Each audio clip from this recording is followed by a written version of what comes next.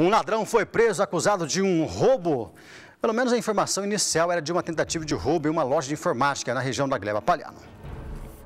A tentativa de roubo foi a uma loja de informática que fica na Avenida Ayrton Senna, na esquina com a Rua Caracas, na Gleba Palhano. Equipes da Polícia Militar chegaram rapidamente ao local e fizeram a prisão do Gustavo da Silva, de 24 anos.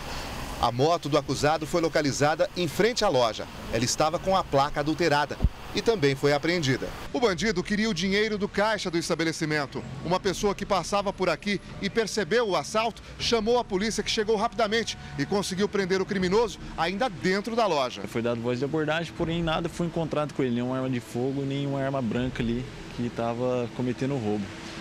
Porém, ele estava realizando, tentando realizar o roubo ali, que foi na conversa ali com a, com a vítima, né? E com a chegada da viatura, ele não conseguiu efetivar o, roubo. Você estava sozinho aí nesse roubo, rapaz? Estava usando arma? Não tô armado não, senhor. Nem voz de assalto eu dei. É, como é que você chegou aí, estava pedindo dinheiro ali no caixa? Capacete, irmão. Só coloquei o capacete na cabeça, nem fechei a cara.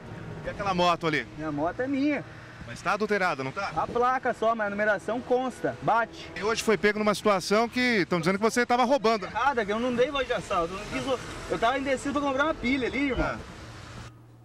Tá aí, ó, ontem eu coloquei essa matéria no Brasil Urgente e falei o seguinte, ó, eu não vou tecer nenhum comentário, porque eu não sei eu não sei, não estava lá, não sei se ele deu voz de assalto ou não, que eu inclusive pedi para a nossa equipe da noite procurar o delegado Mozart Rocha Gonçalves, que era o delegado de plantão, para saber, né?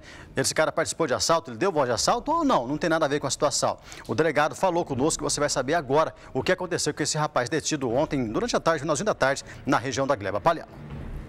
O Gustavo da Silva Carvalho, de 24 anos, foi encaminhado por policiais do pelotão de choque, é, suspeito de ter tentado ou de ter praticado um roubo ali na região da Gleba Palhano, em um estabelecimento comercial. Ele foi ouvido pelo delegado de plantão. Doutor, como é que ficou a situação do Gustavo? Afinal de contas, ele fez o roubo, foi reconhecido no roubo, não fez o roubo? Veja bem, é, eu conversei pessoalmente com a funcionária do local. Segundo ela informou, este rapaz realmente adentrou o estabelecimento, permaneceu ali durante um longo período, mas em nenhum momento ele chegou a anunciar o roubo, não estava em posse de arma de fogo, nem chegou sequer a ameaçá-la.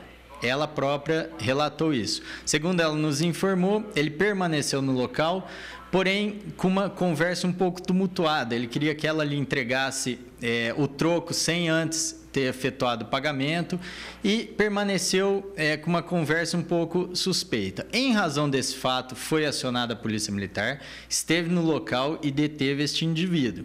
É importante frisar aqui que o simples ato preparatório para o crime não é punível pelo nosso Código Penal. Então, em razão desse fato, é, ainda que ele tinha intenção de futuramente vir a praticar ou delito de furto ou delito é, de roubo ou qualquer outro delito, o simples ato preparatório não é punível. Então, em razão desse fato, ele não ficou autuado é, em flagrante pelo crime de roubo, porém, é, foi constatado que ele estava em posse de uma moto cuja placa estava com a identificação é, adulterada.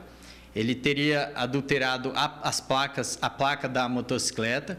Em razão desse fato, aí sim é, materializado o crime, ele vai responder por adulteração de sinal identificador de veículo automotor.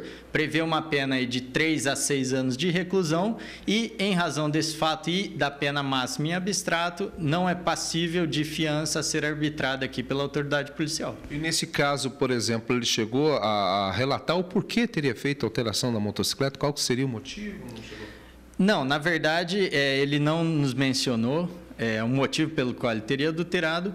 Possivelmente, aí sim, poderíamos trabalhar com a eventual hipótese dele é, vir a praticar algum crime, mas como ele não praticou nenhum ato de execução em si, é, como eu disse anteriormente, o ato preparativo não é punível, salvo algumas raríssimas exceções, cujo Código Penal é, estabelece é, expressamente, o que não é o caso do ocorrido no dia de hoje. Aí, nesse caso, então, para deixar bem definido aqui, ele não foi autuado em flagrante pelo crime de roubo. Não, mas sim por adulteração de sinal identificador de veículo. Hoje a pena também é bastante pesada, tá? Com relação àquela movuca toda lá, as pessoas que, que presenciaram falaram, ó, tá estranho esse negócio, é um assalto. A polícia foi na hora, foi na hora e falou, é, é roubo. Entendeu? Levou para a delegacia. Lá é a autoridade policial que define. E ouvindo a própria vítima que estava lá, falou, não, ele não deu voz de assalto. Eu estava transtornado, estava estranho lá, e por isso ele não foi autuado, então, em flagrante pelo crime de roubo.